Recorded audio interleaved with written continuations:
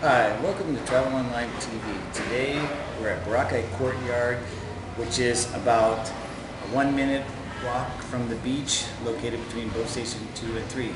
This resort is a back resort for La Carmela, so you get to use La Carmela's pool facility. This one doesn't have any, it's room only. So today we're going to take a look at the Semi Deluxe. Let's take a look. The Semi Deluxe has two double beds, as you can see here, TV with remote, AC of course, and then your standard style bathroom with hot and cold water.